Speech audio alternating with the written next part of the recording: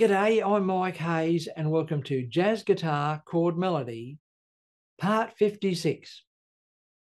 Well, as usual, we have another action packed program for you, but today's a really special one because we look at ways of dealing with the biggest challenge that every guitarist who plays chord melody style must deal with.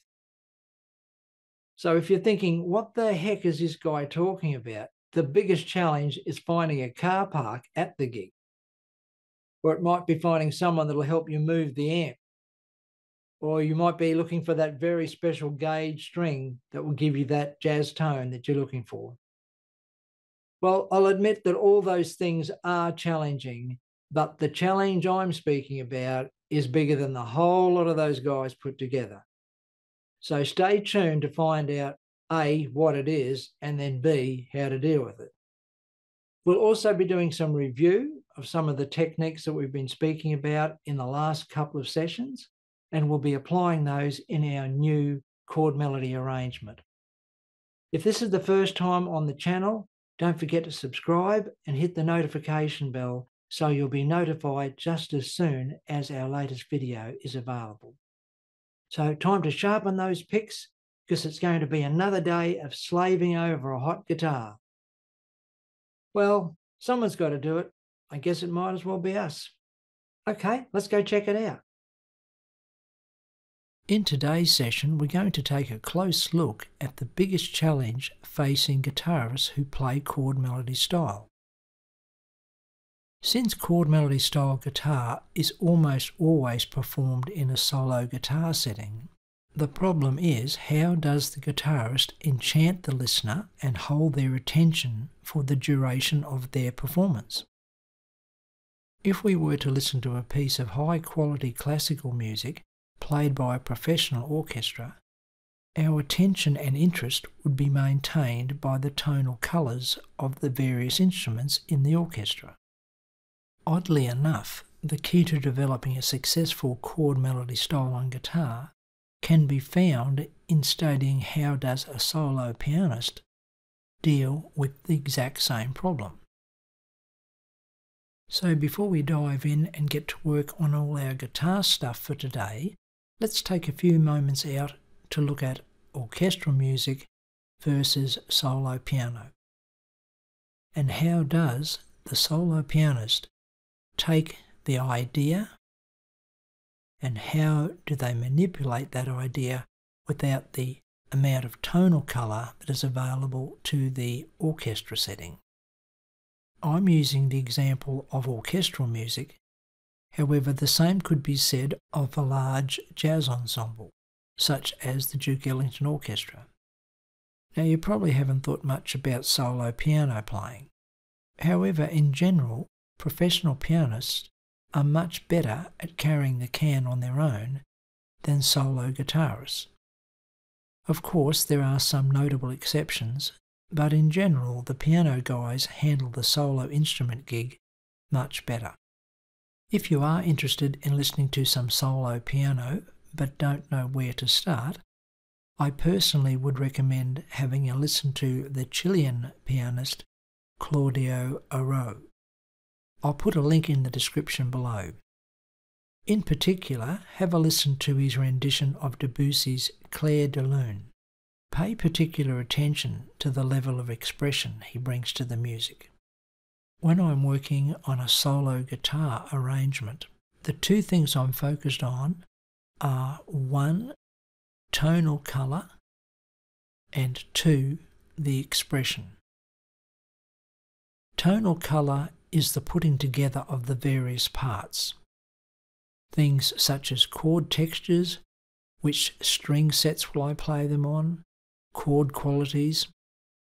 That's the assembling of the musical elements on the guitar fingerboard. And with regard to expression, that's where the use of rubato, dynamics, being aware of the lyrics and the lyrics are very important as a source of inspiration and phrasing. Now we're going to apply all these things to our guitar arrangement, which we're going to start on in just a moment. But to sum up, tonal colour is essentially about where will I play it on the guitar and the expression element deals with how will I play it. The tune we'll be working on today has been around a long time. It's called Bye Bye Blackbird. The music written by Ray Henderson and lyrics by Mort Dixon. It was first published in 1926. The song is a 32 bar song form, and generally speaking, in the fake books, they usually label the form as A and B. But for the purpose of what we're going to do, I'm going to label it A, B, C, A1, with each section being 8 bars in length. You see why I'm thinking like this when we start putting the arrangement together. Okay, just in case you don't know the tune, here is the melody of Bye Bye Blackbird. Remember, I'm playing the melody an octave higher than written, and I'm also playing the melody freely. In other words, I'm playing it as if I was singing it. And I can assure you, my guitar does sing a lot better than me. Here goes.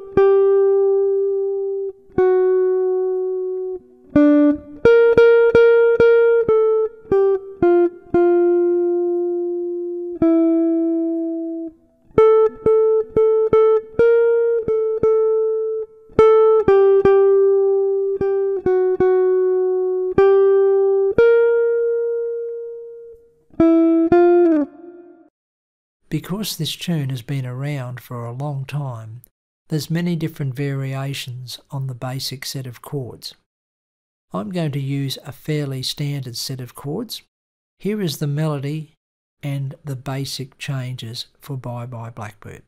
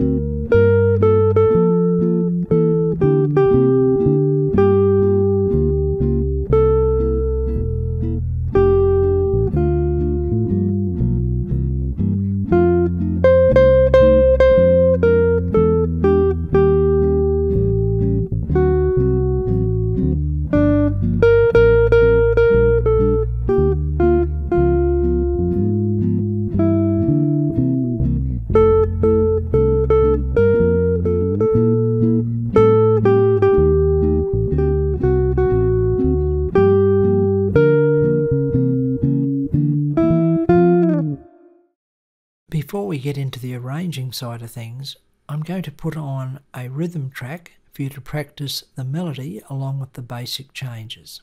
Here goes.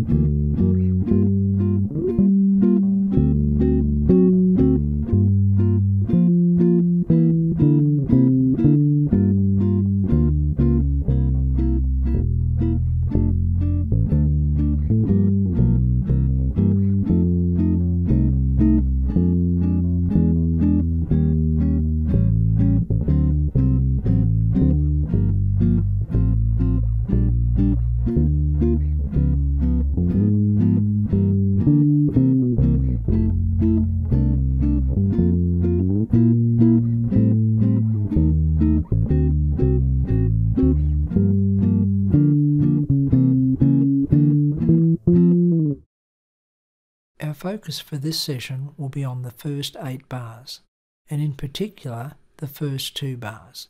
I'm going to play several different examples of how I might approach playing the first two bars. In this first example, I'm going to play an F major 7th under the A notes in the first bar and then a G minor 7th on the B flat note returning back to the F major 7th for the two A notes in bar 2. Let's have a listen to example number 1.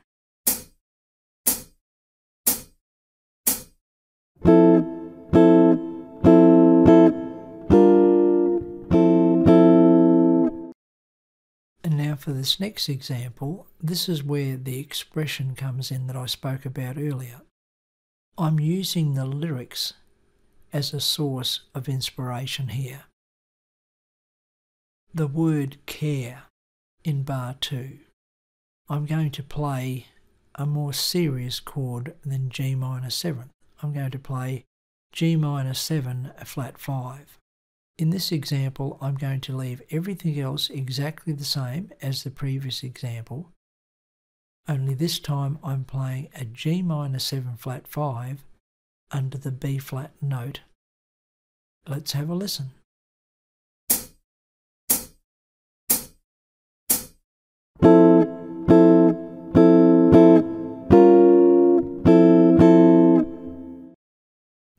The difference that one chord made? And that might be just the thing you're after to help convey the type of expression you want to to the listener without actually singing the lyrics. Here's the same two bars, only this time I'm going to start with a triad. I'm going to play an F triad under the first two notes in bar 1, and then I'm going to play an F augmented triad under the next two notes in bar 1. When I get to the B flat note, I'm going to play a G minor 7th chord, and then under the A notes, I'm going to play F major 7th. So this really is a study in chord textures. I'm starting with triads and then moving on to four note chords. Let's have a listen.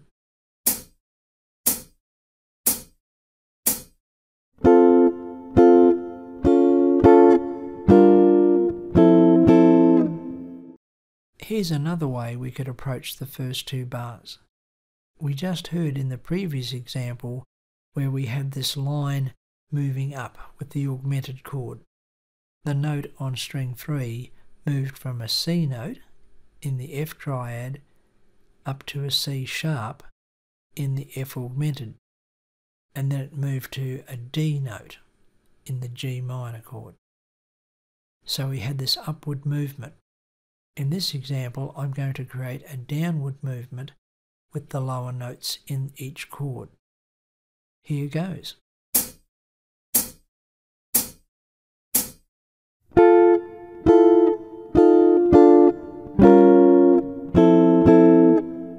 We're going to have one more example, but just before we do, I want to explain my thinking behind this approach. I'm going to play the first eight bars. And my intention with this first section is to have a very vague, whimsical sort of sound. I'm going to use our friends the tone clusters, and it's going to be a very atonal type of feel. And then when we hit the B section, my intention is to turn it into more of a diatonic type of sound. So just for today's session, I'm going to play the first eight bars, and this is a classic case of the music taking us to the technique. I'm going to put this example on twice. The first time the diagrams will show the fingering that I'm using, and this is very important because I want to keep the phrasing very smooth. And again, that's due to the lyrics of the song. I don't want to have the chords chopping and changing. Also, I'm making use of rubato. I'm playing it in a very free time feel.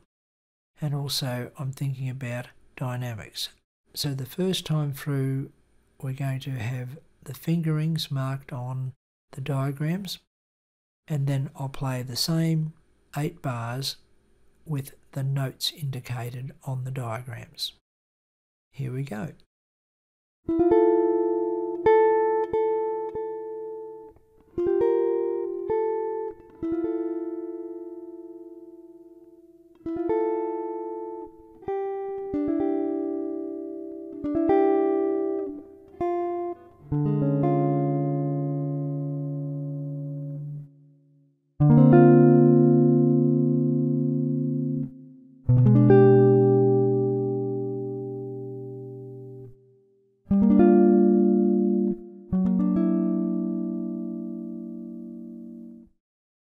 Here's the same eight bars with the notes indicated.